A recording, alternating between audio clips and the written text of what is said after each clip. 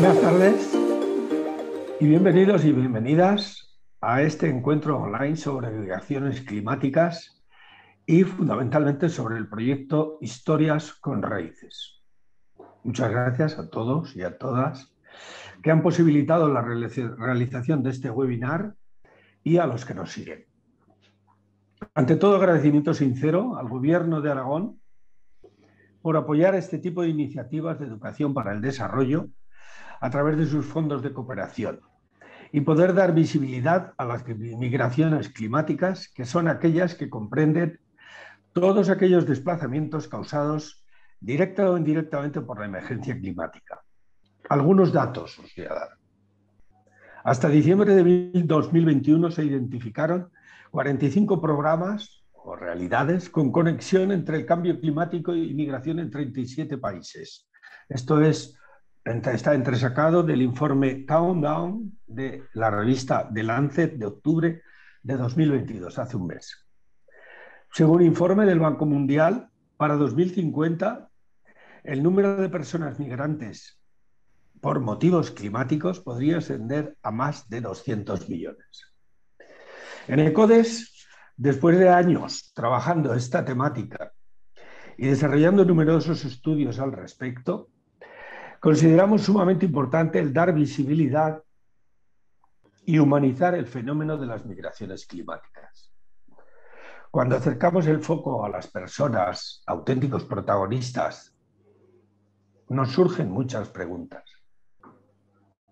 ¿Cuál es la situación actual de los migrantes climáticos? ¿Cómo abordar este tema desde la cooperación? ¿Cuáles son los próximos retos, los próximos desafíos? Y sobre todo, ¿cómo viven estas personas? ¿Cómo viven las personas que se ven obligadas a abandonar su hogar por el hecho del cambio climático? Con el proyecto Historias con Raíces, pretendemos hacer visibles estas realidades que hoy conviven entre nosotros, pero permanecen invisibles ante la sociedad. Y merecen y necesitan que se les reconozcan sus derechos y tengan la oportunidad de reconstruir sus vidas. Y como está en nuestra misión el sumar cómplices a nuestra acción, el evento de hoy lo conforman buenos amigos y amigas e instituciones sumamente respetables y expertas en esta materia con las que esperamos seguir compartiendo camino. Para conducir esta jornada, ¿quién mejor que Sergio de Otto, de CSDO Comunicación, compañero de tantas andaduras y caminos? Sergio, te dejo la batuta.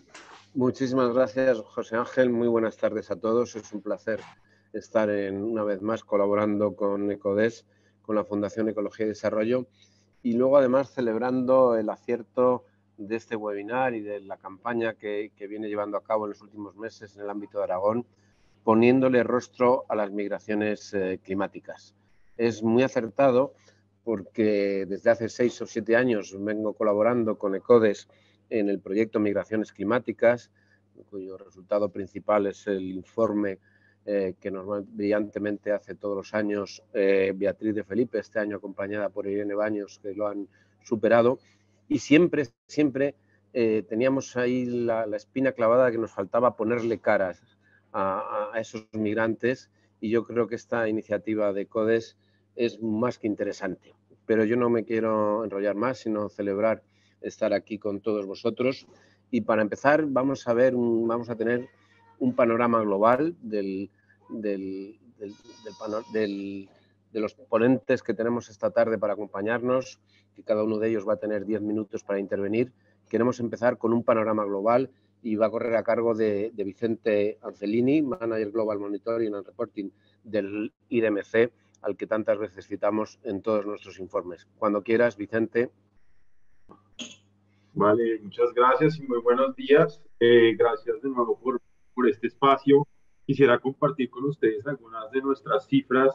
Eh, me parece muy importante enfatizar justamente el tema, el tema de la cara del desplazamiento, porque cuando hablamos de cifras que quitarle la cara a ese desplazamiento. Entonces quiero también recordar que aquí estamos presentando cifras que afectan la vida de millones de personas cada año, ¿no? Y que al agregarlas a nivel así de global, se suele perder ese rostro, ¿no? Entonces recordemos que siempre detrás de esto, por supuesto, hay un rostro. Me va a permitir compartir mi pantalla, si me lo permiten, si pueden, necesito que tal vez Pablo me cuente si se puede ver la pantalla. Sí, vemos la pantalla, Vicente, gracias. Les voy a hablar un poquito de los datos que tenemos en el IDMC. Rápidamente, ¿quiénes somos? El IDMC en español se conoce como el Observatorio de Desplazamiento Interno. Somos una ONG internacional basada en Ginebra, eh, cuyo mandato es justamente eh, hacer el monitoreo, el seguimiento de todas las situaciones de desplazamiento forzado interno. Es decir, nosotros no eh, hacemos monitoreo de personas que cruzaron las fronteras internacionales, sino únicamente las personas que se quedan desplazadas dentro de sus mismos países, que son la mayoría, ¿no? De las personas que se ven forzadas a desplazarse, tanto por conflicto como por desastres. Esta presentación tiene que ver eh, con desastres y, los efectos del cambio climático. Entonces, eso es lo que les voy a presentar ahora mismo brevemente. Eh, estas vienen siendo las tendencias en la última década. Lo que ven ustedes en azul es el desplazamiento por desastres y lo que ven en naranja es el desplazamiento por conflicto y violencia. Y es lo que es claro aquí en, esta, en este gráfico es que el desplazamiento por desastres eh, siempre es mayor, ¿no? Estos son el número de movimientos, no el número de personas. ¿Por qué? Porque una persona se puede mover más de una vez en el curso del mismo año debido a un evento climático. Un ejemplo muy claro de esto son, por ejemplo, los huracanes Iota y Eta en Centroamérica.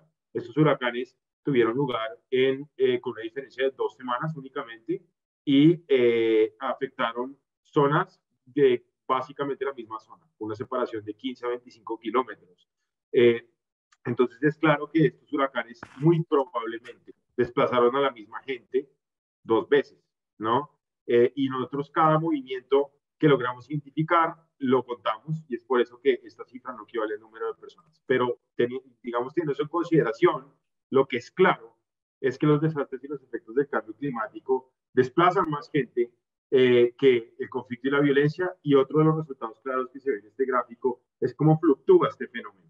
Se ve, por ejemplo, que en 2012 hubo eh, eh, muchos desplazamientos, la mayoría tuvieron que ver con desplazamientos, por ejemplo, en Nigeria, en China, luego en 2016 también hubo inundaciones y huracanes, sobre todo en China, que es un país muy poblado y por lo tanto el desplazamiento es mayor allí, y el pico más reciente y más alto que hemos visto desde que recolectamos datos en 2008 es, eh, fue en 2020 con 30,7 millones. Y no les estoy presentando aquí las cifras de 2022 porque estamos en ello, pero les puedo decir ya con cierta seguridad que va a ser aún más alto este año que 2020. ¿Por qué? Porque hubo una inundación que básicamente eh, eh, cubrió un área equivalente a Panamá en toda eh, Pakistán. Eh, hemos observado eh, tifones, ciclones, inundaciones a lo largo de las distintas regiones del mundo y, es, y, la sequía también está, ha desplazado a día de hoy a más de 1,1 millones de personas solo en Somalia. Entonces, las cifras van a ser bastante preocupantes para 2022. ¿Por qué también el desplazamiento por desastres es más eh, pues es mayor que, el de conflicto y violencia, porque tiene una huella mucho más amplia, que es lo que se puede apreciar en este mapa. Como lo pueden ver, países de ingreso alto como Estados Unidos, Japón, pero también países europeos, eh, también se ven afectados por estos eh, desastres, ¿no? Y, aquí con desastres también estoy contando eventos de origen geológico, como por ejemplo erupciones volcánicas como la que tuvo lugar en La Palma el año pasado, ahorita mismo no me recuerdo la cifra, pero fue un evento significativo y también sigue habiendo, pues, eh, hubo a lo largo de todo el verano, por ejemplo, en Europa, incluida eh, muchos eh, incendios forestales. Y bueno, lo que pueden ver aquí, por supuesto, también es claro que en Asia y Pacífico es la región en donde más se registra desplazamiento por desastres esto es básicamente una correlación, digamos, entre la intensidad de muchas amenazas, como ciclones, inundaciones, terremotos, erupciones volcánicas, pero también una, eh, una concentración de población muy alta en países como Bangladesh, India, China y Filipinas. Entonces, digamos que no es sorprendente, pero digamos que las cifras son eh, muy preocupantes. Y este gráfico me permití añadirlo en esta presentación porque me parece interesante mostrarlo. Y esta, aunque se enfoca sobre las, las cifras del año pasado únicamente, la tendencia suele ser más o menos la misma. Es decir, hay más desplazados por desastres que por conflictos, ya lo, ya lo resalté, pero la mayoría de los desplazamientos por desastres son originados por amenazas climáticas, es decir, tormentas, inundaciones, incendios forestales, sequías, etcétera, que es lo que ustedes ven en esta. Tal vez la letra es un poco pequeña para alcanzar a leer, pero viene siendo esta burbuja de aquí. De los 23,7 millones de desplazamientos que identificamos el año pasado, 22,3 fueron asociados al clima y las tormentas, sobre todo tormentas de gran intensidad como ciclones, fueron responsables casi de la mitad de, esta cifra, ¿no? Entonces, eh, obviamente esto varía un poco de año a año, ¿no? Eh, pero de manera general, las, las, inundaciones y las tormentas son grandes contribuyentes a las cifras globales. Eh, las sequías aquí aparecen mucho menores para el caso del año pasado, 240 mil, y eso es bastante importante, sobre todo teniendo en cuenta que las cifras que tenemos sobre sequía son muy pobres en general. No hay un monitoreo sistemático del desplazamiento por sequía, pero lo que hemos podido obtener, sobre todo en el Cuerno de África este año, apunta a que vamos a estar hablando, si juntamos Somalia con Etiopía, con Djibouti y con Kenia, probablemente algo así como 1.500.000 o más desplazamientos solo este año debido a la sequía en el, en el Cuerno de África, que está sufriendo una sequía eh, muy extendida que pues sin duda tiene una relación con la variabilidad y el cambio climático. Y esto pues me quería también eh, detener rápidamente en que distintos tipos de desastre se manifiestan ¿no? Eh, a lo largo del tiempo, digamos, y, tienen distintas características, ¿no? Incendios, tormentas, a veces es en cuestión de horas, inundaciones es más a veces en cuestión de días, pero a medida que el tiempo pasa, hay eventos de, de, de, aparición más lenta, procesos más graduales o incrementales, como por ejemplo la subida del nivel del mar, que a veces toma años o décadas, y hay, también hay una relación entre estos dos, ¿no? Muchas veces se registra, ah, un desplazamiento por erosión costera en tal lugar, porque básicamente una tormenta muy extrema y eso se suele considerar como una tormenta de ocurrencia lenta. Pero ha habido ese proceso gradual incremental que lleva construyéndose mucho tiempo y que eh, básicamente funciona como un factor generador del riesgo de desplazamiento. Y todo esto obviamente lleva a preguntar cuál es el verdadero rol del cambio climático. Eh, bueno, eh, no quiero aquí obviamente sonar como aquel que niega el cambio climático. Todo lo contrario, pienso que todos hemos visto ya inclusive lo que está pasando este otoño, que parece más bien un verano en, en Europa, eh, y todas, la, digamos, las, las, las, distintas variabilidades que ha habido en este año, pero no solo tiene que ver con eh, los gases de efecto invernadero, no solo tiene que ver con, eh, sí, con, con el clima como tal, sino que hay una multitud de factores demográficos, históricos, políticos, sociales y económicos que, realmente determinan que las personas se vean obligadas a abandonar sus hogares. Esto significa que el cambio climático es una realidad, una realidad preocupante, pero no eh, es únicamente el desencadenante directo del desplazamiento. Eh, ¿Qué me refiero con eso? Que a veces eh, se observa, por ejemplo, más nivel de precipitación que el usual en algunas zonas y sin embargo no hay tanto desplazamiento. Sin embargo, dependiendo de cómo una ciudad esté construida, dependiendo qué tipo de drenaje tenga esa zona urbana, cuál sea la gestión de desechos, etcétera, en países en desarrollo, por ejemplo. Muy claro que hay unos factores de desarrollo insostenible que están contribuyendo a generar eh, ese riesgo de, de, desastre y ese riesgo de desplazamiento que poco o nada a veces tiene que ver con el cambio climático. Entonces, esto es también para resaltar que no olvidemos que hay que tener obviamente una perspectiva holística del problema. Eh, esto es, eh, eh, y es una de mis, llamas, mis, mis, últimas diapositivas, pero quisiera mostrarles esto, que desafortunadamente está en inglés, pero voy a permitirme explicarlo rápidamente para clarificar. Esto lo que muestra, ah, y porque también digo que es, que es difícil hablar de cambio climático y, y, y, y desastres y desplazamiento y, digamos, establecer correlaciones tan directas. Básicamente para entender la variabilidad climática y el efecto que ha tenido el calentamiento global, en, este, en este fenómeno, se necesita por lo menos 30 años de datos para poder decir, en efecto, hay una correlación entre el calentamiento global y la variabilidad climática. Y eso está probado. Está claro que el mundo se está calentando y que hay algunas amenazas que están siendo más severas como consecuencia de eso. Lo que no hay suficiente es datos históricos sobre desplazamiento. En el IDMC comenzamos a hacer el monitoreo del desplazamiento forzado por desastres desde 2008, pero sin embargo necesitamos irnos atrás hasta 1990 para realmente poder hacer una correlación sólida entre estos datos y esos datos aún no existen. Lo que sí se puede hacer, y es lo que ustedes ven ahorita en esta diapositiva y en este gráfico, es que se pueden aplicar modelos probabilistas del riesgo de desastre y eh, aplicar, eh, eh, digamos, el factor del cambio climático en esos modelos. Y eso es lo que se muestra aquí. Entonces, lo que esto muestra es básicamente el porcentaje de cambio en el riesgo de desplazamiento en dos escenarios distintos. La línea azul oscura que ven ustedes aquí es básicamente qué pasaría de aquí a final de siglo si el mundo sigue con las, los niveles actuales de emisión de gases de efecto invernadero y los niveles de, digamos, eh, desarrollo insostenible, como construimos las ciudades, el nivel de deforestación, etcétera. Si continuamos con ese escenario, vamos a estar hablando de más de un 300% de cambio o de aumento del riesgo de desplazamiento por inundaciones. Esto es inundaciones únicamente a nivel global. O sea que se va a triplicar el problema.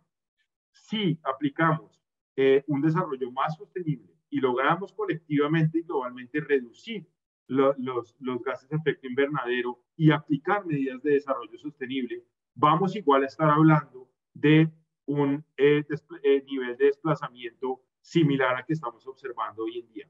Y el mensaje aquí para mí es claro, cualquiera de los dos escenarios debería ser preocupante. Entonces, realmente la atención que se le debe poner a este tema del de, desplazamiento por eh, cambio climático y desastres es fundamental y tiene que ser una prioridad para todos los actores que estén trabajando en el sector de prevención, reducción de riesgo humanitario y de desarrollo. Eh, última de últimas, es en IDMC obviamente nos enfocamos muchísimo a medir el fenómeno y es importante también que eh, sepamos qué se puede utilizar, que ya existe para medir el fenómeno mejor, para entenderlo mejor, porque la verdad, siendo muy franco aquí con todos ustedes, no es muy fácil capturar este fenómeno. Y sin embargo, la oportunidad está allí, porque muchas, eh, digamos, evaluaciones post-desastre eh, permiten entender eh, o, o, tienen indicadores para medir el impacto de esos desastres. Y muchos de esos indicadores, entre esos, el número de personas evacuadas, el número de personas desplazadas en centros comunitarios, colegios, albergues, el número de personas viviendo en asentamientos temporales, número de casas destruidas, todos estos indicadores que ustedes ven listados aquí en las distintas fases de un desastre, desde la preparación alerta temprana, emergencia y recuperación, todos estos son indicadores que nosotros a día de hoy utilizamos para medir el desplazamiento forzado interno y que nos permite, digamos, poner una cifra eh, concreta que permita medir este fenómeno. Pero pasa mucho que a nivel más local no se hacen estas evaluaciones mirando el desplazamiento como un fenómeno y como realmente ese rostro humano que tienen los desastres. Entonces, justo eh, este también es un llamado a todos los que estén trabajando en esta área para pues, entender este fenómeno más y mejor. Eh, espero haber respetado el tiempo que se me atribuyó y quedo pendiente en caso de que haya cualquier uh, pregunta. Muchas gracias. Muchísimas gracias, Vicente. Te has pasado solamente dos minutos. Eh, pero es eh, lo lógico en estos casos. Muchas gracias porque ha sido muy interesante esta introducción y te felicito por esos gráficos tan elocuentes que, ayuden a visualizar muy bien el tema del que estamos hablando. Eh, a continuación vamos a tener las reflexiones para la cooperación española y una colaboradora de nuestro proyecto en, en, ediciones anteriores de Beatriz, Beatriz Eugenia Sánchez Mójica, investigadora y coordinadora de la Red Latinoamericana de Desplazamiento Interno. Bienvenida, Beatriz, cuando puedas, por favor. Muchas gracias, Sergio. Y bueno, primero, pues agradecer a ECODES por haberme invitado y a Pablo por haber organizado este conversatorio barra webinar tan importante. Eh, antes de empezar, yo creo que es importante explicar desde qué lugar hago yo mi presentación, estas reflexiones para la cooperación española. Yo no soy cooperante. Eh, yo soy eh, académica que he trabajado cierto tiempo en migraciones forzadas vinculadas al cambio climático y he hecho consultoría frente a agencias y ONGs que trabajan temas de cooperación internacional relacionados con migraciones climáticas. Entonces, mis reflexiones, que van a ser breves, salen desde este punto, no desde la una experta cooperante. Y el objetivo es identificar cinco puntos que yo creo que debe tenerse en cuenta en el momento tanto de entender el fenómeno desde la cooperación como desde el momento de actuar frente a este fenómeno, que se puede hacer. Eh, es importante decir que la temática como tal de la afectación de la movilidad por los efectos del cambio climático es relativamente nueva en la cooperación española, como tal. Es decir, se lleva trabajando mucho tiempo en temas muy vinculados, en prevención de desastres, en medidas de adaptación al cambio climático, en disminución de vulnerabilidades, pero ya enfocarse a movilidad es algo relativamente nuevo y que además eh, se está entrando de manera todavía un poco tímida. Sin embargo, eso, quiero insistir en que desde hace mucho se está trabajando temas directamente relacionados. Ahora, vamos entonces con los cinco puntos. El punto número uno, le quiero agradecer aquí a Vicente porque ha adelantado casi todo lo que yo quería decir. Y es el primer elemento central para entender este fenómeno de la movilidad humana es comprender, reconocer su enorme complejidad. Vicente lo dijo absolutamente claro. Eh, el cambio climático no es el que genera que la gente se mueva. Es un factor muy, muy importante, pero está dentro de un cúmulo de elementos que son los que al final desencadenan los procesos de movilidad, tanto voluntarios como forzados. ¿Eso qué significa para la cooperación? Bueno, primero que obviamente es importante vencer todos los días la tentación a la simplificación. Segundo, que hay un enorme espacio de trabajo en el que, de hecho, llevan muchísimo tiempo incidiendo relacionado con la disminución de capacidades, el aumento perdón, la disminución de la vulnerabilidad, el aumento de la capacidad, eh, incluso eh, la disminución de la exposición al riesgo. De esto vamos a hablar un poquito más adelante. Eh, hay, por lo tanto, toda una experiencia, todo un saber hacer recogido que sencillamente necesita reorientarse un poco al tema de la migración, pero que hay instrumentos, conocimiento, experiencia y conexiones para seguir trabajando por ahí. Lo segundo que deriva de esta complejidad del fenómeno en sí es que no se debe olvidar que al fin y al cabo la responsabilidad primordial por los movimientos de población sigue siendo la de los estados donde se origina. Primero, eh, porque la mayor parte de los movimientos, de acuerdo con los registros que tenemos, imperfectos, incompletos, pero son los existentes, la mayor parte de los movimientos siguen siendo los que tienen lugar al interior de los estados. Entonces, está este debate de por qué estos estados, que son los que menos contribuyen a la emisión de gases efecto invernadero, son los que tienen que soportar la carga de enfrentar eh, también los procesos migratorios y de desplazamiento forzado. Quiero aclarar, hay una responsabilidad internacional, pero la responsabilidad estatal es clave porque son esos estados donde se han producido las condiciones estructurales de corrupción, pobreza, marginalidad, etcétera, etcétera, que son las que han permitido que esos movimientos tengan lugar. Entonces, no hay que perder como de vista esa responsabilidad y trabajar justamente para fortalecer las capacidades tanto de los estados como de las comunidades afectadas. El segundo punto está muy relacionado con el anterior, en el sentido de que tiene que ver con la comprensión del fenómeno y el diseño de las estrategias. Y es que por un lado, desastres y cambio climático y por el otro, conflicto armado y violencia están terriblemente relacionados. Sobre todo desde el punto teórico, esto es relativamente difícil de ver, porque se han creado marcos tanto de comprensión de los fenómenos como de actuación desde el derecho y desde la cooperación que tienden a separar estas realidades. Lo cierto es que hay cierto grado, cierto cantidad de literatura que demuestra que no siempre, pero con cierta frecuencia, los efectos del cambio climático tienden a incrementar y a ser más graves los conflictos armados. Eh, igualmente, no es difícil encontrar situaciones en que, la que conflicto y desastre, cambio climático interactúan. Y es importante integrar esos marcos, integrar esos dos fenómenos dentro de la realidad de la movilidad humana para poder diseñar mejor actuaciones para enfrentarlo. Voy a poner un ejemplo muy claro. En 2017, en una ciudad al sur de Colombia, Mocoa, tres ríos en la misma noche, al mismo tiempo, se desbordaron y afectaron más de la mitad de esta ciudad, generando una enorme cantidad de desplazados por la inundación. Ahora bien, cuando se entra a trabajar con esas personas, eh, resulta evidente que esas personas ya eran desplazados, pero por el conflicto, y fueron afectados por las inundaciones porque se habían ubicado en las zonas más expuestas al riesgo. Una adecuada comprensión de esta relación entre estos dos factores, desastres y violencia, hubiera permitido ubicar mejor a estas personas y reaccionar de, de una mejor manera. Por lo tanto, es otro elemento a tener en cuenta. El tercer punto que quiero resaltar es eh, la importancia de la prevención como campo prioritario de la actuación de la cooperación. Y cuando hablo de prevención, estoy hablando de la prevención en tres sentidos. Por un lado, la misma prevención de desastres.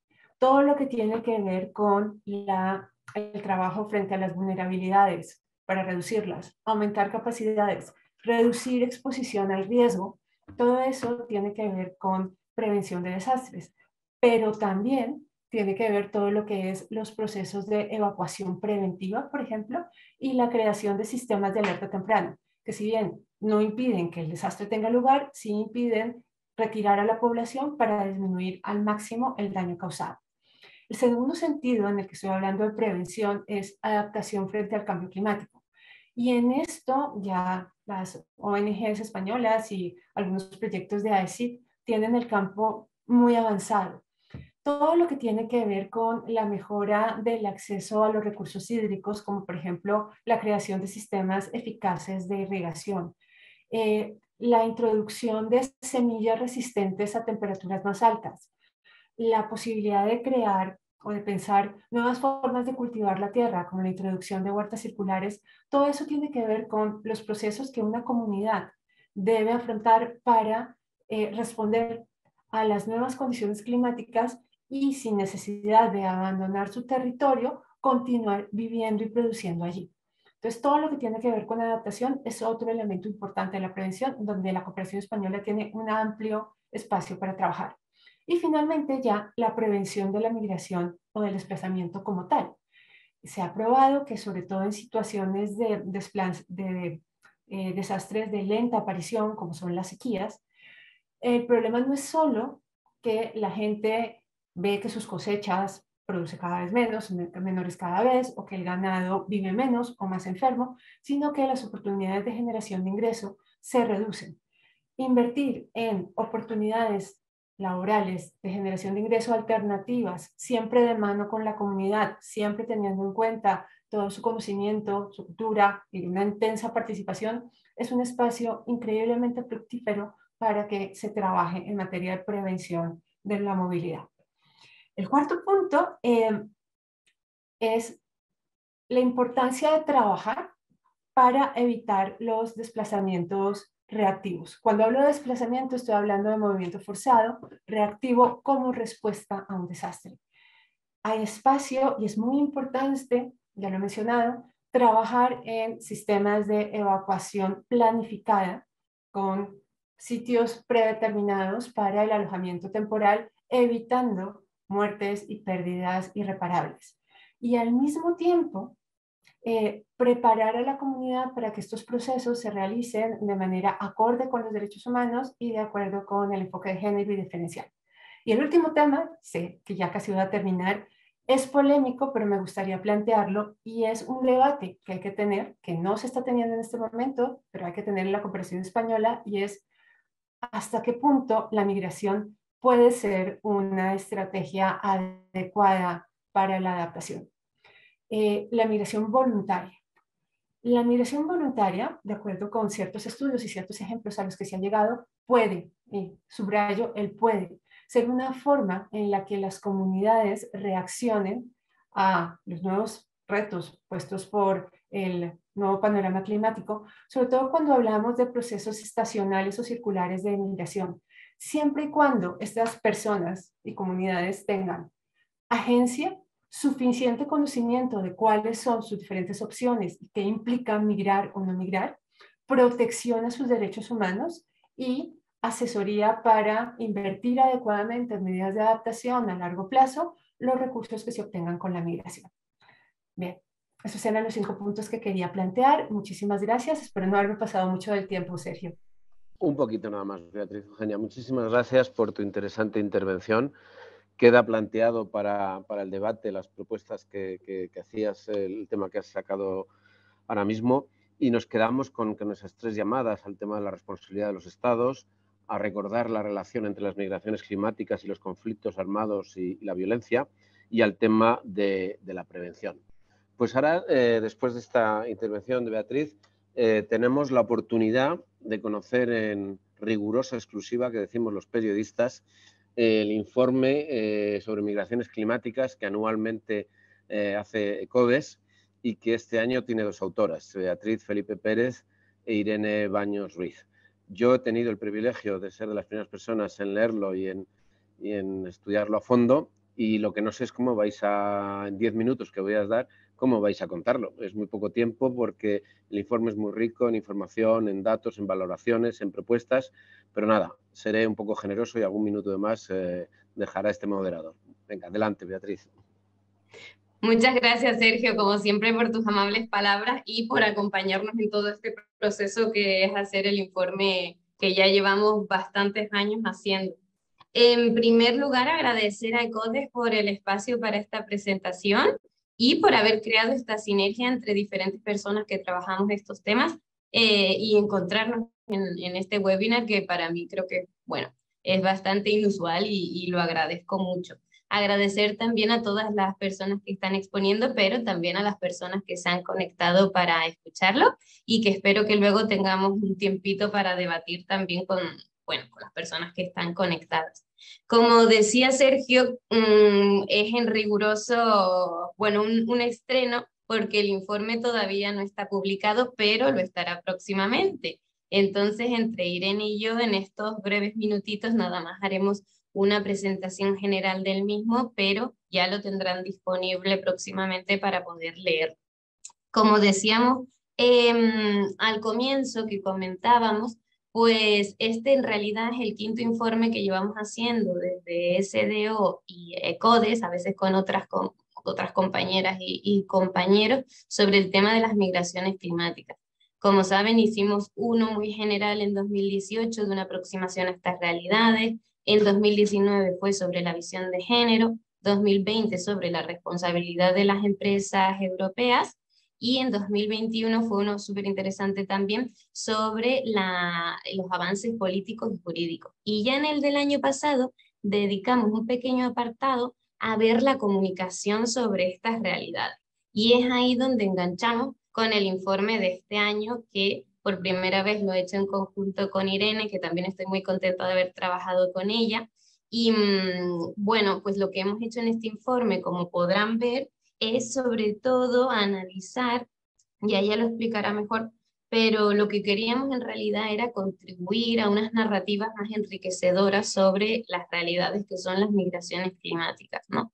Para ello, mm, el informe se estructura en diversos apartados, Irene ahora explicará más los de comunicación, pero después de una pequeña introducción en la que, como siempre, visibilizamos las multiplicidades de las migraciones climáticas, las complejidades, lo que han dicho la compañera Beatriz y el compañero Vicente sobre que no solamente se deben al cambio climático, sino que siempre son muchas causas, que son complejas, ¿no?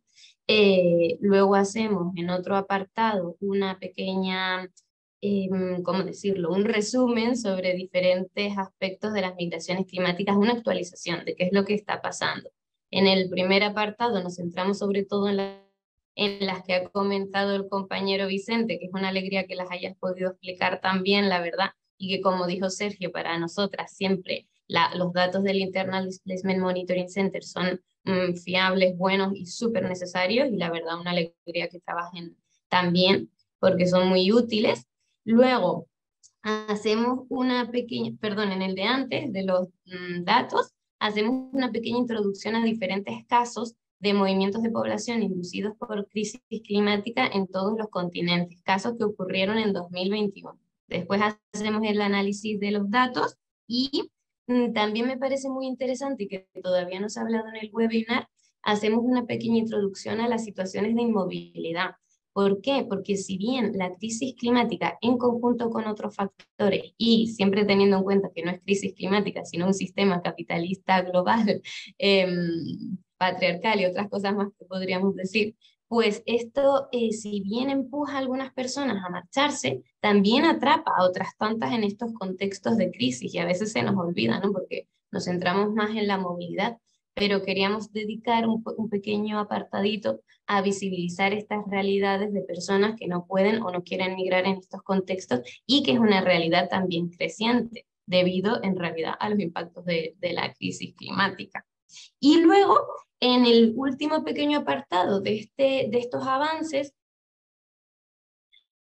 los avances en 2021, que no son muchísimos, pero son importantes. Y solo por señalar unos, y ya para dejarle más espacio a, a Irene, pues resaltar el mandato, la creación del mandato del relator del cambio climático y derechos humanos, que esto es muy importante en la agenda de, de Naciones Unidas y que él ha priorizado el desplazamiento asociado al cambio climático. Luego también hablamos de los principios rectores para los niños y las niñas en situación de desplazamiento climático, impulsado por UNICEF y la UICN y la OIM, perdón. Hablamos del litigio en las islas del estrecho de Torres, que es uno de los pocos y primeros en los que hace vínculo entre vulneración del derecho a la vida, movimiento y crisis climática. Bueno, y otros tantos que para dejar espacio, Irene, y porque vamos así eh, apretadas y porque el informe sobre todo se centra en comunicación, pues lo dejo aquí y ya lo podrán leer más adelante.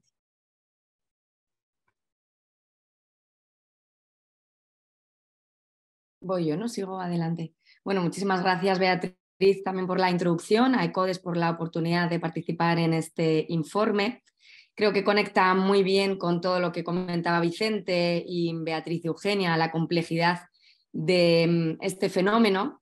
Y ya sabemos que los medios de comunicación, la divulgación y todos los formatos en los que ejercemos la, comunicación tienen un rol clave en cómo la sociedad va a percibir eh, todos los fenómenos. Ya pasa con el cambio climático en general, con esa complejidad que conlleva, pero las migraciones climáticas creo que añaden ese punto de complejidad.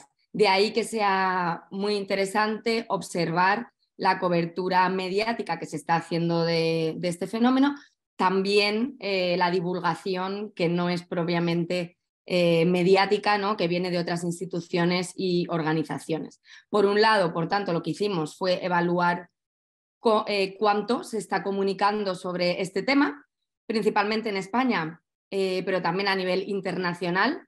Obviamente no es eh, un análisis exhaustivo y no se espera presentar una lista de absolutamente todo lo que está ocurriendo, pero eh, sí que damos bastantes ejemplos de diferentes formatos y plataformas que permiten ver em, que el número de publicaciones relacionadas con este tema están en aumento, ¿no? El interés está en aumento y cada vez em, se encuentran más publicaciones tanto en medios de comunicación, en formato prensa tradicional, en online, en podcast, en eh, cuñas televisivas, tanto como a través de esfuerzos que hacen las organizaciones y las instituciones especializadas. Pero también, por ejemplo, nombramos el creciente o la creciente presencia de este tema en plataformas mucho más innovadoras y quizás no tan asociadas con un tema tan complejo como son las redes sociales, ¿no? A través de, hashtags, por ejemplo, como migraciones climáticas o refugiados climáticos. Y luego también destaca el grandísimo número, obviamente también impulsado por, por la pandemia ¿no? y esta vida más online que llevamos ahora, pero el grandísimo número de eventos que se celebran en torno a esta temática, tanto a nivel internacional como a nivel nacional, como decía. Entonces, tenemos esa parte que realmente da una perspectiva, una visión general de lo que están haciendo los medios de comunicación, principalmente a nivel nacional, pero también internacional, centrados en las publicaciones en inglés. Y luego nos pasamos a preguntar cómo están informando, ¿no? Cómo estamos informando, cómo se está divulgando sobre esta realidad. Por un lado, damos ejemplos, recordar ¿no? que siempre son todo ejemplos, que no es un análisis absolutamente exhaustivo de, todo lo que existe, pero se dan ejemplos de algunas de las perspectivas predominantes en los medios de comunicación. Es decir, a través de las piezas periodísticas que se producen, qué mensaje estamos transmitiendo sobre este fenómeno. Y bueno, recojo ¿no? lo que comentaba Vicente y lo que comentaba Beatriz Eugenia de mm, esa complejidad que incluye, por ejemplo, em, hablar mucho de desplazamiento hacia otros países, cuando en realidad los datos lo que demuestran es que los desplazamientos se dan principalmente a nivel interno de los países. ¿no? Entonces, esta es una de las realidades, por ejemplo, que vemos a través de la prensa que quizás habría que corregir. Pero entonces, en las perspectivas nos centramos en la narrativa del, miedo, que justamente juega con, estos datos, también con las cifras exageradas, em, con ese miedo al otro, ¿no? con las invasiones de los migrantes climáticos que van a venir a de, eh, distorsionar ¿no? o, a convulsionar nuestras grandes sociedades democráticas. Y por otro lado, de manera más positiva tenemos la narrativa de la cercanía, que la hemos llamado. Y es decir, que antes, los años anteriores, veíamos una dicotomía mucho mayor entre el sur global y el norte global. ¿no? Eh, los migrantes vienen de, África principalmente y los recibimos en los países del norte. Sin embargo, estamos viendo que cada vez hay más cobertura mediática sobre mm, eh, temas relacionados con las migraciones climáticas también en el norte global, puede ser en Estados Unidos o en España. Sergio, te veo por ahí, no sé si es porque me estoy pasando mucho ya del tiempo, pero eh, va todo bien, ¿no?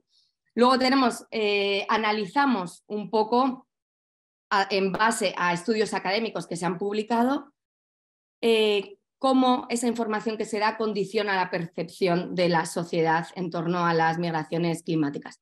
Y ahí nos centramos en analizar eh, dos vertientes. Por un lado es el alarmismo, el contraproducente alarmismo, porque justamente jugar con este miedo al otro, con esos números eh, hiperbólicos, muchas veces se hace con la buena intención de fomentar la concienciación o, de, como decíamos, de ponerle rostro al cambio climático. Pero lo que observan estos estudios académicos es que muchas veces ese resultado es contraproducente y lo que hace es exaltar eh, pues ideas xenófobas o incluso apoyar la implementación de medidas antimigratorias. Y luego, por otro lado, tenemos el peligro de la simplificación. Ya sabemos que esto es un problema del periodismo en general, ¿no? que vamos siempre contra reloj, con muy escasos recursos, pero tenemos que aprender a alejarnos de esa simplificación y alejarnos del clickbait ¿no? y de estos titulares eh, alarmistas que tampoco constructivos son. Todo eso se recogen en unas recomendaciones que hemos intentado lanzar entre Beatriz y yo y que por supuesto están abiertas a mejoras y a incorporaciones futuras. Yo creo que este es el trampolín desde el que empezamos, pero la idea es que esto em, nos lleve a mejorar cada vez más la comunicación y la divulgación que se hace de las migraciones climáticas. Y entre em, esas recomendaciones destaco, por todo lo que se ha comentado hasta ahora en el webinar, eh, el especial cuidado o atención con usar cifras excesivas o masivas y sobre esos futuros ¿no? Em, posibles, pero que realmente muchas veces no están apoyados en los datos y que además generan un pánico que lleva más a la inacción que a la acción. Y por otro lado, otra recomendación que creo que es eh, llamativa y que se relaciona muy bien con lo que comentaban aquí los expertos es contextualizar las causas que, inciden y que se interrelacionan en los desplazamientos humanos, ¿no? Y no dibujar simplemente al cambio climático como una causa única em, que, es, que está muy relacionado con, esa, con ese simplismo, con esa simplificación de la que tenemos que huir. Beatriz. Pues muchísimas gracias, Beatriz, Irene, por esta presentación, este anticipo de este interesantísimo informe eh, y por esta advertencia final. Eh, sobre la simplificación de este fenómeno que desgraciadamente a veces vemos en muchos medios. Eh, yo mm, quería, por último, ahora dar la, palabra a, Bárbara Marqués, investigadora de movilidad humana, responsable del proyecto de investigación de CODES, poniéndole rostro a las migraciones climáticas, proyecto que recuerdo está patrocinado por el Gobierno de Aragón. Bárbara, cuando puedas, por favor. Bueno, gracias Sergio, eh, gracias a, ECODES porque desde dentro estamos poniendo el foco en, cómo se denomina el proyecto, en ponerle rostro a las migraciones climáticas. Lo que hemos comentado muchas veces es que se está estudiando el fenómeno, se dan datos, se dan cifras, parece que nos vamos haciendo a la idea de que eso es algo que tenemos presente, pero como que no acaba de llegarnos al día a día. Entonces, nuestra idea con, este, con esta investigación era precisamente eso, ponerle rostro, lo dice perfectamente el título. Entonces, a la hora de plantearnos cómo hacerlo, lo que, lo que dijimos es, bueno, pues que nos lo cuenten ellos, que nos lo cuenten eh, ellos y ellas directamente. Pero claro, aquí nos venía la primera dificultad. No hay un estatus de refugiado climático, la gente no llega aquí y dice eh, soy un refugiado climático o soy un inmigrante climático. Entonces tuvimos que diseñar o definir una serie de criterios que nos facilitaran el localizar estas personas. ¿Cómo lo hicimos? Pues contactamos primero con entidades sociales que están trabajando con personas inmigrantes, sobre todo de las denominadas de económicas, ¿vale? que han venido por razones económicas. Pero claro, lo primero que nos dijeron es, vale, yo cómo te localizo a una persona. Yo no puedo empezar a llamar a todos mis usuarios y usuarias y preguntarles, ¿eres migrante climático? Entonces nos planteamos, bueno, eh, lo, primero que vimos es que muchas veces estamos eh, trabajando y conviviendo con personas de otros países desde hace muchísimos años y no nos hemos preguntado em, las razones o los motivos que les llevaron a emigrar. Hemos dado por sentado cosas y, quizá deberíamos, la primera lección de esta investigación para mí ha sido esa, que tenemos que preguntar más y conocer más a las personas que conviven eh, con nosotros y nosotras en nuestra comunidad. Una vez eh, que nos planteábamos esto, dijimos, vale, pues vamos a cruzar dos criterios muy sencillos, muy generales, que nos pueden ayudar a esto. Uno era eh, mirar la lista eh, de zonas del mundo donde más efecto tiene el cambio climático y cruzarlo con los colectivos de personas inmigrantes que hay ahora mismo en Aragón más numerosos. Con estos dos criterios lanzábamos un tercer criterio que era que las personas provengan eh, de zona rural. Nos habremos dejado muchas cosas por en medio, pero eran los primeros criterios para empezar a localizar eh, estas personas. Mm, daba igual si habían hecho primero una migración climática de, una zona rural a una ciudad y de la ciudad habían dado el salto hacia España o si lo habían hecho directamente. Bueno, con estos criterios ya nos empezaron a salir eh, personas que quisieron colaborar y a las que hemos podido entrevistar.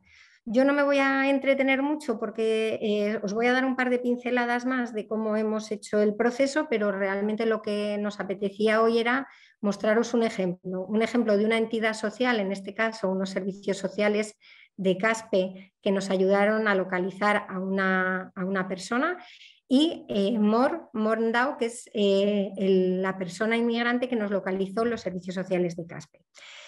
Ahora les daré paso a ellos. Primero os resumo que los países con los que hemos trabajado en, esta, en este primer acercamiento han sido Senegal, Mali y Burkina Faso en África, eh, en África subsahariana, Nicaragua y Ecuador en Centroamérica y América Latina y Marruecos. ¿vale? Estos, estos seis países nos han dado diez testimonios em, que nos han permitido trabajar eh, este, este objetivo de ponerle rostro a las migraciones climáticas. El proceso ha sido hacer una entrevista en profundidad en la que hemos hablado de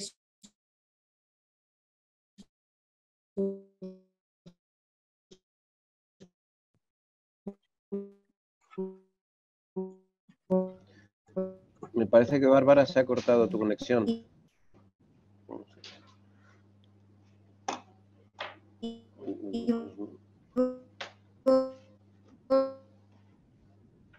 Hola Sergio, sí, la conexión de Bárbara eh, sí que se ha cortado. Entonces, eh, te diría, si quieres, como están eh, Vicente, Beatriz Eugenia, Beatriz Felipe Irene, que podamos dar paso al conversatorio.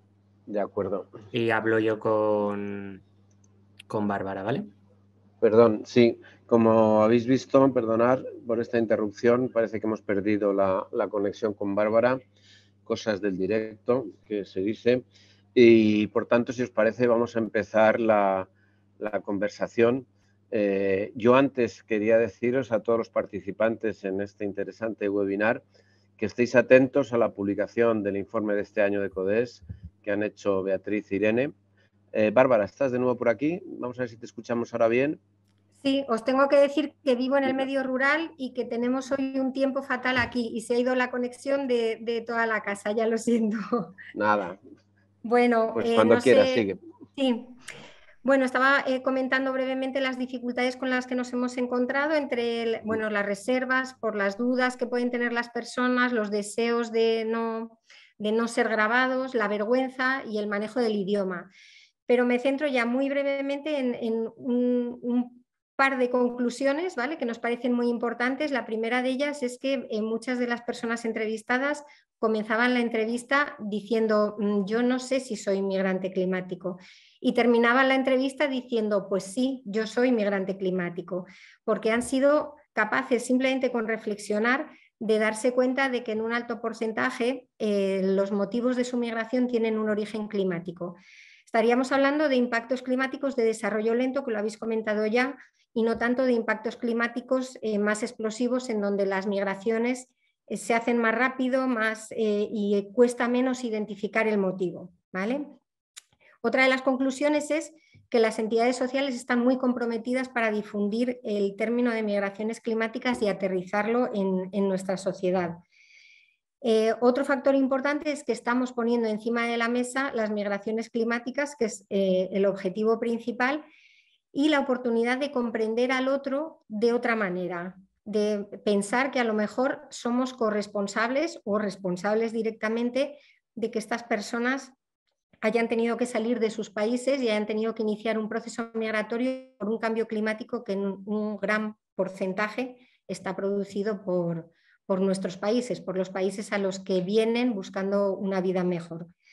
Em, hay muchos otros factores que, son interesantes. Yo creo que es el, primer, la primera investigación de muchas. Y, ahora, como os decía antes, queríamos dar paso a Alfredo, Alfredo Maranillo, que es responsable de servicios sociales de base de la comarca de Caspe y que nos contara un poquito cómo es la realidad de, la migración allí y cómo ha aterrizado el concepto de migraciones climáticas en su entorno. Muchas gracias, Bárbara. Lo primero, disculpar porque estoy con ordenador fijo y no tengo, no tengo webcam.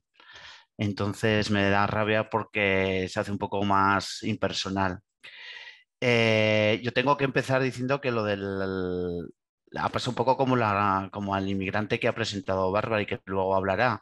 Lo del tema de las migraciones climáticas era un concepto que mira que nosotros llevamos más de 20 años trabajando con el tema de inmigración para contextualizar, eh, yo soy responsable de un centro de servicios sociales de una comarca del Bajo Aragón zaragozano que somos unos 15.000 habitantes, donde la población mayoritaria está en la ciudad de Caspe, que son unos 10.135 habitantes, y donde tenemos el índice de inmigración eh, más alto de Aragón y que casi duplicamos la media nacional. Eh, estamos hablando de una realidad de inmigración que viene por un contexto de campaña agrícola, que es un fenómeno que se da en nuestra zona como zona agrícola y es donde empieza un poco todo el fenómeno migratorio. Nosotros, eh, la verdad es que llevo unas semanas eh, leyendo temas vinculados a, a lo que es el tema de la migración climática y, me pasa un poco como después de todo eso estoy viendo que, que muchas de las personas que, vienen a nuestro territorio eh, cumplirían como dos, dos cuestiones básicas que se han comentado aquí. Una, evidentemente vienen de zonas eh, donde la posibilidad de desarrollo es muy, muy, muy limitada y que eh, muchas veces están relacionados con un, con un desastre eh, climático o con unas dificultades climáticas importantes como pueden ser sequía o como pueden ser de otro tipo. Porque muchas veces eh, nosotros estamos en una zona, por ejemplo, que suele haber, el Ebro se desborda todos los años y hay una serie de, de movimientos, pero que la propia sociedad española es capaz de reabsorber y de gestionar esas, esas crisis. Pero esta gente migrante eh, lo que hace es provocar que tengan que desplazarse a zonas y territorios fuera de sus países. Por lo tanto, después que estoy leyendo, evidentemente, eh, pues mm, ponemos un poco más el foco que parte o consecuencia de estos movimientos de una población que llega a nuestro territorio de zonas muy rurales y deprimidas, sobre todo de la zona de Marruecos y de la zona de pakistaní, que es, digamos, las dos eh, poblaciones mayoritarias en nuestro territorio. Eh, Caspe en concreto tiene más de 53 nacionalidades evidentemente con, unos porcentajes muy eh, dispares en lo que es eh, y lo que es eh, marroquíes. nosotros empezamos a trabajar en el 2018 ya con lo que eran las campañas agrícolas y en estos momentos ya estamos poniendo el foco a lo que son los planes de convivencia. Hemos pasado a hablar de integración en el, en el contexto del inmigrante eh, y poner el foco solo en el inmigrante a hablar de ciudadanos y principios de ciudadanas. Y estamos ya con el segundo plan de convivencia a cuatro años en el cual enfocamos nuestro marco de intervención, digamos, como en cuatro ejes. Uno es en la acogida. Nuestra zona sigue siendo zona de acogida. El otro día en uno de los institutos de, la comarca hablaban que habían venido ya más de 40 chavales eh, extranjeros eh, eso es un, porcentaje altísimo. Eso son en instituto, de los dos que hay en, la zona. Y en colegios donde hay primaria y secundaria, pues eh, lo mismo. Entonces, seguimos apostando y necesitamos de estrategias y de acciones en lo que es el tema de, acogida, en colaboración con Gobierno Aragón, medidas como un servicio de traducción simultánea, el tener que traducir ciertos documentos, eh, tenemos proyectos de donde hay un trabajador social y el equipo de familia hacen un poco la acogida a, esas familias que de alguna manera vienen por primera vez y necesitan ese primer contacto en el, en el territorio y todo el tema de, gestión de, ayudas económicas. Luego, otro de los ejes con los cuales estamos trabajando y que estamos apostando los últimos años es en el tema de conocimiento mutuo, es decir, necesitamos conocer y conocernos eh, tanto la población inmigrante eh, como la población autóctona, porque siempre poníamos el foco en el inmigrante, en, que el inmigrante tenía que integrarse en lo que era nuestra realidad pero desconocíamos y no poníamos el foco en la riqueza cultural que puedan tener las otras, las otras culturas. Y ahí pues estamos diseñando una serie de, acciones. Eh, otro de los, de los eh, ejes que nosotros hemos centrado en nuestra intervención es todo el tema de racismo, racismo y xenofobia. Aquí uno de los proyectos que se va a poner en marcha, que ya tuvimos hace unos años, es el de mediación, el de mediación intercultural trabajar desde lo que es la prevención del conflicto y poder trabajar y gestionar el conflicto desde lo comunitario y no desde lo que es la, sanción. Y una de las cosas que nos ha parecido muy interesante porque hace mucho mal para lo que es la propia convivencia son las estrategias antirrumores. Aprobamos hace un año, año y medio una estrategia que estamos trabajando con, la con una fundación eh, en el territorio y la vamos a poner en marcha y sacar a la calle si no pasa nada en el, 2000, en el 2023. Y como cuarto eje eh, estaríamos hablando de la participación activa, hacer los partícipes, analizar los canales de participación, el tema de asociacionismo, eh, que puede ser un trampolín para involucrarse en lo que puede ser la, gestión en, lo que es la, en lo que es la comunidad y el, y el municipio.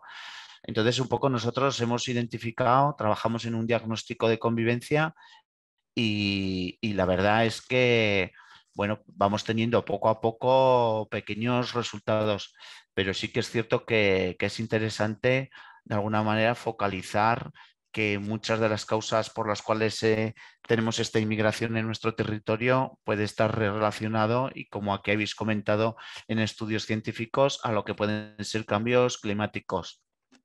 Y en este contexto es importante el, papel político. En la zona rural, pues bueno, eh, muchas veces eh, esa cercanía y, ese cuestionamiento de si realmente el inmigrante aporta o el inmigrante eh, pone dificultades a lo que puede ser el, desarrollo del territorio, pues bueno, hemos creado un observatorio de intercultural donde hay una parte de implicación de política que tiene que ir de la mano con lo que pueden ser todas las intervenciones y todas las las acciones que se pueden hacer en el, territorio. Y la verdad es que mm, es, un colectivo y es un, porcentaje de población importante en la cual tenemos la obligación, tanto legal como, como ética, de, prestar atención y facilitar todo lo que puede ser el trabajo, porque en definitiva la diversidad cultural no deja de ser una, una riqueza.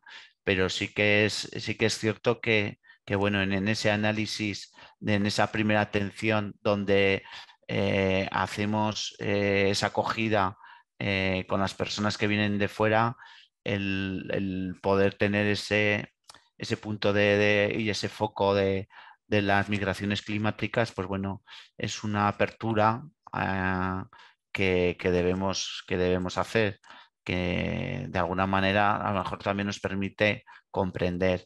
Y otro de los fenómenos que quería comentar y que mm, puede ser incluso migraciones internas, mm, nosotros tenemos una campaña agrícola bastante fuerte en lo que es la, zona de la comarca.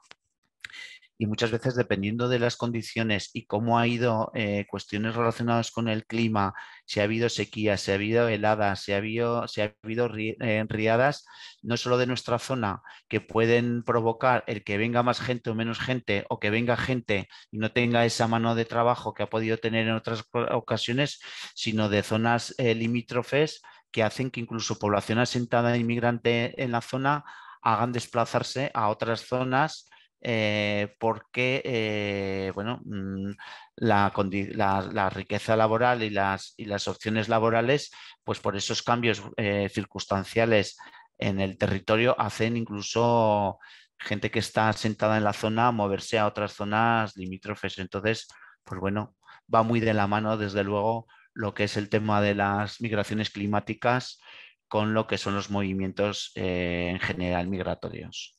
Y eso es lo que un poco puedo contar desde, desde nuestra experiencia. Gracias, Alfredo. Em, teníamos eh, eh, apalabrado la, la, intervención, la breve intervención de Mor, una de las personas que ha prestado su testimonio y que podréis ver en la página web de CODES.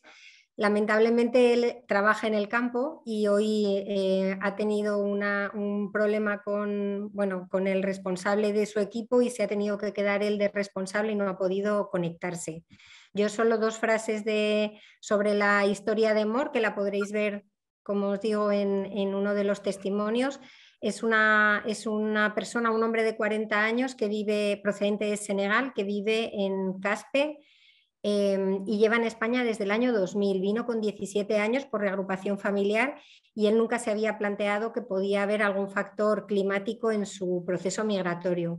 Pero hablando con él en la entrevista terminó, como decía, como en el ejemplo, completamente convencido de que tanto él como su padre y su hermano se movieron o tuvieron que moverse o desplazarse por razones climáticas de su, de su lugar de origen. Él viene de Gande, de una localidad a 40 kilómetros de Luga y, cuando ya entendió el concepto de migrante climático, contó muchas anécdotas de gente de su pueblo, de gente de los pueblos de alrededor, incluso habló de los problemas de la gente de la ciudad que se dedicaba a la pesca y que ahora ya no puede. Entonces, hubiera sido un testimonio, bueno, es un testimonio muy interesante, sobre todo también el proceso que él mismo llevó a lo largo de, la entrevista para, para entender lo que eran las migraciones climáticas.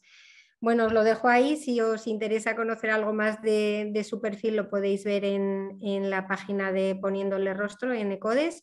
y, bueno, ya habéis visto el ejemplo también de, de Alfredo, que os lo queríamos traer aquí porque el papel de las entidades sociales, y en este caso de una entidad pública como los servicios sociales, es fundamental para trasladar este concepto a pie de calle a la ciudadanía.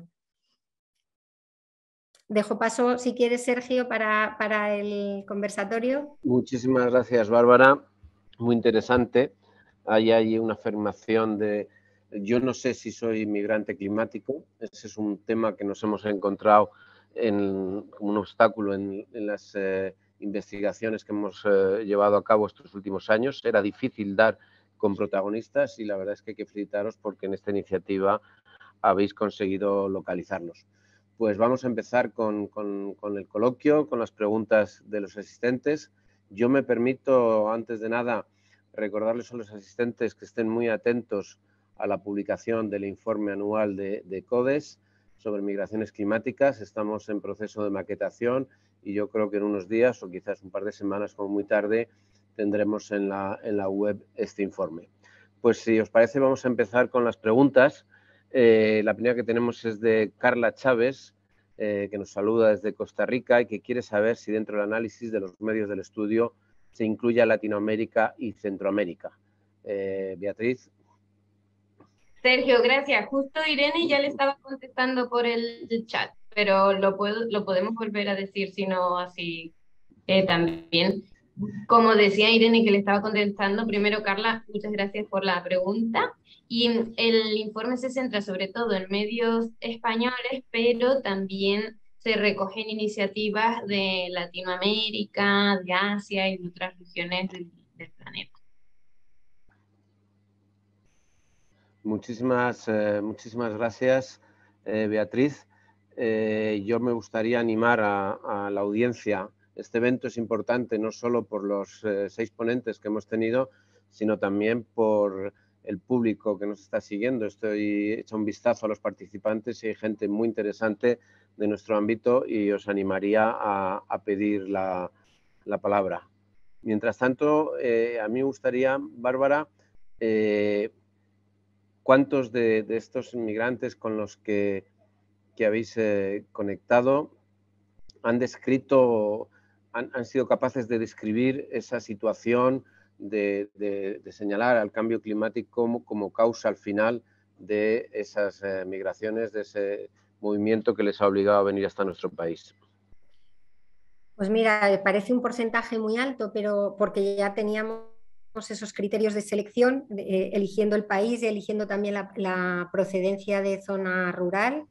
Eh, pero te puedo hablar de que el 90% de las personas que entrevistamos acabaron diciendo convencidas, yo soy migrante climático. De hecho, el final de la entrevista era, bueno, ahora que ya hemos hablado de este tema, ¿quieres grabar un mensaje eh, diciendo yo soy migrante climático? Y si te decían que sí lo grababan, si no, no y luego les decíamos, bueno, ¿qué le dirías a una persona que ahora mismo eh, no cree que esté produciéndose el cambio climático? Entonces ellos mismos ya articulaban un discurso y lanzaban un mensaje a cámara diciendo eh, que les parecía una barbaridad, o sea que era innegable que el cambio climático estaba sucediendo y sobre todo muy curioso también la mayoría de ellos eh, y ellas afirmaban que en sus países y en sus zonas de origen el cambio se estaba dando desde hace mucho tiempo. Desde hace 30, 40, 50 años hablaban de, con nostalgia de lo que sus padres les contaban, eh, de cómo se vivía antes, de cómo se eh, cultivaba antes, cómo... entonces eso les hacía ver también, les hacía integrar ese factor dentro de su propia historia y de la historia de su, de su zona de origen. Perfecto. Estaba viendo en el chat a ver si tenemos alguna pregunta más. Eh, pues me habían anunciado una de, Marita. Eh, desde Marita Copes, que desde Uruguay, eh, que trabaja en una red con alcance a más de 40 países, habla de qué ajustes y qué cambios se requieren en, en esta nueva realidad que tenemos post pandemia. Yo creo que la pandemia se ha unido, es un obstáculo más, pero Beatriz, Irene, ¿cómo lo veis vosotras? ¿En qué en específico era la pregunta? Perdóname, Sergio. Que, en los ajustes y cambios que requiere, eh, si, la, pandemia ha hecho que en el enfoque de este problema haya que hacer ajustes y, cambios en la manera de enfocarlo. Bueno, eh, claro, desde luego que sí, porque al final la pandemia ha llegado a transformar todo desde los motivos para marcharse hasta los sistemas de protección y de asilo que estuvieron un tiempo bastante parados en 2020, ¿no? De hecho, hay un estudio muy interesante que me parece que era de Senegal en el que analizaban los movimientos de población como eh, uno de los motivos era pues, impactos de la crisis climática, pero también como la crisis climática y los impactos de la COVID habían empobrecido muchísimo a la población y eso justamente es lo que estaba haciendo que, muchas tuvieran que marchar. Con lo cual, desde luego que al final es más que cambio climático, una situación de pobreza, de desigualdades, ¿no? Que al final pues son las que empujan a que tengamos que buscar la vida en otros lugares. Una pregunta para, para Irene de, Daniel Rodrigo. Dice que España es uno de los países europeos con más migraciones por eventos climáticos y que cómo están cubriendo los medios esta realidad. Ya lo has anunciado un poquito en, tu primera intervención, pero si quieres eh, detallar algo más de cómo cubren los medios españoles este, este tema.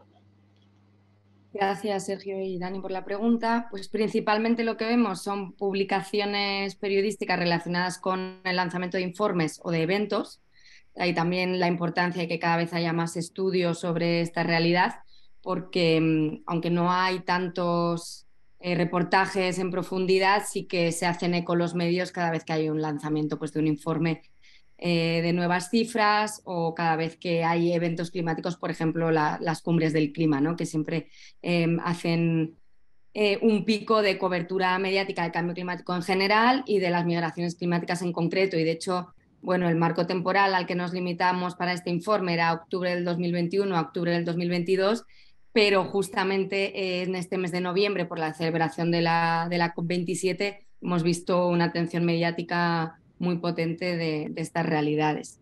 Es verdad que los titulares alarmistas y simplistas eh, siguen predominando en gran número, pero más que centrarme en eso, me gustaría destacar el progreso que hay hacia historias mucho más personales, como lo que estábamos comentando ahora a través del trabajo de CODES, también desde, por ejemplo, secciones como Planeta Futuro del país em, hacen unas coberturas cada vez más positivas, por, por, decirlo así, ¿no? o con un enfoque de soluciones, con un periodismo más constructivo y que muestra a las personas afectadas por los desplazamientos más como agentes de cambio que como víctimas.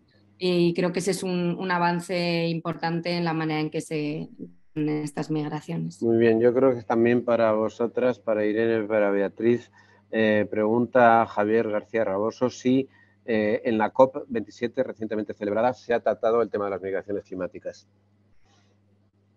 Hola Javi, muchas gracias por la pregunta. Mm, a ver, es complicado. Mm, como siempre, no, es, no ha estado dentro de los temas primordiales a tratar dentro de la COP, que creo que realmente nunca lo ha estado como un tema prioritario, pero dentro de las pérdidas y daños sí que de cierta manera se ha incluido. Entonces, al final, contar con este pequeño apoyo que se ha dado a crear todo este movimiento de las pérdidas o daños, indirectamente y siendo muy positivo significa que algo se avanzará en este sentido. Pero si soy más realista, en realidad diría que es nada o, menos. Muy bien. Para, perdona, Sergio, el punto positivo ha sido que sí que se han celebrado, ¿no? Beatriz, corrígeme, diversos eventos eh, paralelos, no dentro de las negociaciones puras, pero de estos eventos paralelos que se celebran siempre en las cumbres, centrados en las migraciones climáticas. Por lo tanto, por lo menos como el, eh, la atención ha estado puesta en el tema. Sí. Nada, que eso, que siempre llevamos muchos años con millones de eventos paralelos de migraciones climáticas, que están muy bien, pero que al final... Pues nada más, yo antes de dar la palabra a José Ángel Rupérez, presidente de CODES, para que clausure este webinar, agradeceros a los ponentes, los disciplinados que habéis sido en vuestras intervenciones y a todos los participantes eh, por haber estado ahí. Muchas gracias, José Ángel, cuando quieras.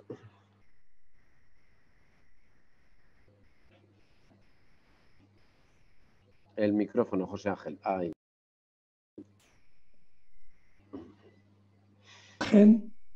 Y el micrófono, la imagen y el micrófono. Muchas gracias, Sergio. Bueno, muchas gracias a todas y todos los que habéis conducido este webinar. Gracias igualmente a los que han estado visualizándolo y oyéndolo. Eh, yo, bueno, he tomado tres o cuatro cosas. Primero, para las personas que se introducen de nuevo en este tema eh, de las migraciones climáticas, pues eh, sí, recalcar que la mayor parte de los migrantes, a, diferencia de lo que a veces los medios de comunicación dicen, son internos, no son externos. Y en ese sentido eh, hay que desechar todas las cuestiones de miedos y temores a invasiones o a cuestiones de esas. ¿eh? Eh, también que de los 38 millones de, de desplazamientos internos que ha habido contabilizados en el mundo, algo más de la mitad son debidos a cuestiones de climáticas, no cambio climático, pero sí cuestiones climáticas que sabemos y ha quedado demostrado con datos que el cambio climático lo que hace es eh, incrementar, incrementar estos eventos que producen desplazamientos. Eh, también la necesidad de, comunicación, de identificar, de hablar con los migrantes, eh, como parece que, bueno, como parece que está haciendo y va a seguir haciendo de una forma continuada la comarca de Caspe en su plan de acción de muchos puntos, porque, entre otras cosas, eh, los propios migrantes desconocen claramente el tema del cambio climático o lo, cómo como causa de su desplazamiento. Y sin embargo, que cuando hay un conocimiento y una comunicación, eh, se identifican claramente como, como migrantes climáticos, muy importante. Y dejo para el final una pregunta, una pregunta que nos ha lanzado Beatriz y que es interesante para debatir, y es, ¿hasta qué punto la migración voluntaria puede ser una estrategia frente a la adaptación al cambio climático? Y cómo se debería hacer esta migración voluntaria. Lo dejo ahí, es un tema abierto, apasionante para tratar en el futuro. Por mi parte, nada más. Eh, desde CODES, darle una vez más las gracias a los asistentes, a los que han contribuido a, a realizar este webinar, por su ayuda en esto y esperamos que aporte estas reflexiones, estos estudios y estos informes, aporten pasos positivos para ir eh, conociendo y mejorando la, eh, esta problemática como es la eh, y que afecta tanto a las personas como son las migraciones climáticas. Muchas gracias.